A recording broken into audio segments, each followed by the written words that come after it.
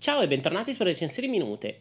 Oggi vi parlo di un gioco velocissimo da spiegare composto da queste super mega tesserone che peraltro ha già venduto più di 100.000 copie in tutto il mondo. Vi parlo quindi di Fort, gioco di Dominique Erahard per 2-4 giocatori, una durata di circa 20 minuti a partita, edito in Italia dalla Olifante, che ringrazio per avermelo appunto fatto scoprire. Vediamo insieme.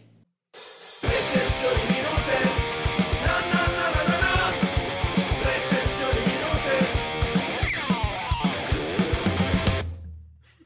Nel proprio turno, un giocatore gira faccia in su una tessera a piacere tra quelle presenti al centro del tavolo. Ora possono capitare tre casi. Il primo è che il valore di tale tessera sia inferiore all'ultima tessera piazzata nel bastione del giocatore che ha il turno in corso. In tal caso la tessera è girata nuovamente a faccia in giù e tocca al giocatore successivo. Oppure la tessera ha un valore superiore all'ultima piazzata nel proprio bastione. In tal caso il giocatore potrà decidere se girarla a faccia in giù e passare il turno al giocatore successivo, oppure piazzarla all'estrema destra del proprio bastione, in questo modo. Si continua a giocare così fino a quando un giocatore non riesce a allineare 10 tessere in ordine crescente nel proprio bastione, appunto. A questo punto la partita termina immediatamente e si farà un punto per ciascuna tessera piazzata nei propri bastioni, più punti speciali per ciascun personaggio che è rappresentato sulle tessere piazzate si fa la somma e ovviamente il giocatore che ha la somma più alta è dichiarato il vincitore. Come avete visto non mentivo nell'introduzione, il gioco si spiega veramente in una manciata di secondi e vi dico peraltro che quella che avete appena visto è la versione completa del regolamento. Forti infatti prevede una modalità semplificata del regolamento che peraltro però vi consiglio solo se avete dei piccoli al tavolo, quindi bambini magari di 6-7 anni, oppure se proprio avete delle persone che non hanno mai giocato da tavolo e non volete particolarmente spaventarle, anche se come avete visto c'è poco da spaventarsi. In tale modalità non ci sono i punteggi, quindi i personaggi sono totalmente inutili ai fini della partita e semplicemente vincerà il giocatore che per primo mette 10 tessere nel proprio bastione. Concentriamoci quindi sulla modalità completa. Innanzitutto avete visto che c'è una componente di memory all'interno di questo gioco, ovvero sia quando la tessera viene rivelata, se il giocatore non decide di piazzarla nel proprio bastione, essa viene rimessa nella stessa posizione a faccia in giù. Quindi è fondamentale stare bene attenti durante la partita, in modo tale che quando sarà il vostro momento, quando deciderete che quella tessera è il momento di piazzarla nel vostro bastione, dovrete andarla a prendere a colpo sicuro. Perché dico quando sarà il vostro momento? Perché le tessere sono numerate da 2 a 45.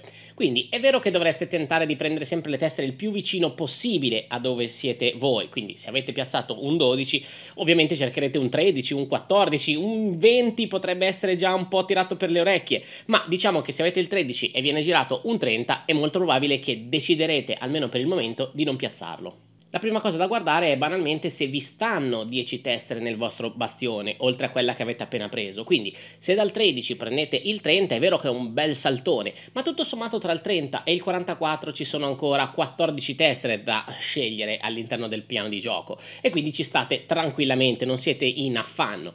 Allo stesso tempo potreste liberarvi un po' anche dell'angoscia e della pressione degli altri giocatori. Se state su una decina molto più avanti, diciamo tutti i giocatori stanno cercando le tessere tra il 10 e il 20 e voi avete già iniziato a guardare quelle dal 30 in poi, diciamo che quelle che loro gireranno e che a loro ancora non interessano, per voi potrebbero essere proprio la tessera giusta. In ultimo, ma non meno da trascurare, è che non è obbligatorio avere 10 tessere nel proprio bastione per vincere. Io stesso ho vinto una partita nonostante non fossi il giocatore con le 10 tessere, anzi ne avevo solamente 6 all'interno del mio bastione in quel momento, ma avevo creato talmente tante combinazioni di punteggio che ho battuto senza problemi il giocatore che aveva fatto finire la partita. Per quanto riguarda le abilità, vi dico che ci sono principe e principesse, ad esempio, che vanno insieme fra di loro e fanno punti singolarmente, ma insieme, se fate la coppia, ne fanno ancora di più. Abbiamo un re, abbiamo una regina, abbiamo un mago che vi dà l'abilità speciale, ad esempio, di poter piazzare una tessera con qualsiasi numero all'interno del vostro bastione, quindi anche con un numero più basso. E poi c'è anche un pizzico di interazione diretta. Ci sono dei cannoni sparsi fra le varie tessere che permettono di distruggere un'altra tessera all'interno di un bastione di un vostro avversario. È vero quindi che c'è un'interazione diretta, distruttiva, ma tutto sommato vi dico che non vi darà tanto fastidio. Ve ne potrebbe dare un po' di più magari in una partita a due giocatori in cui siete proprio nel testa a testa. Tutto sommato poi piazzare anche la tessera con il cannone vi fa solo un punto, proprio il punto della tessera piazzata. E peraltro potreste anche decidere di difendervi piazzando delle torri. Tra torre e torre tutte le tessere sono invulnerabili. Quindi c'è interazione, ci sta per mettere un pochino di pepe nella partita, ma in termini di economia sulla vittoria finale diciamo che conta poco. In conclusione vi dico che questo Ford mi ha colpito decisamente in positivo, regolamento semplicissimo, apprendibile da tutti in un attimo, ma ci sono delle domande interessanti dietro a ogni tessera pescata, dovete decidere se prenderla per il numero, per il disegno che c'è sopra, solamente per portarvi avanti, insomma niente di spacca cervello, ma sicuramente una partita interessante e che vi darà soddisfazione al termine della stessa.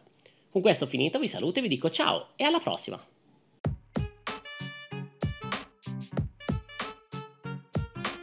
In sostanza non avevo mai sentito parlare di questo fort ma sono molto contento di aver rimediato. Detto questo se vi è piaciuto il filmato lasciatemi pure il pollice su altrimenti il pollice giù. Ricordatevi di iscrivervi sia su YouTube che su Telegram che su Instagram per rimanere sempre aggiornati. Nel caso vogliate sostenere il progetto Recensione Minute c'è sempre la possibilità di farlo con un caffè virtuale su TP e sbloccarvi anche dei bei contenuti extra nel frattempo. E poi vi ricordo di sfruttare anche il codice speciale per avere lo sconto 20% su tutto il catalogo Pampling. Niente, ho finito davvero. Ciao ne!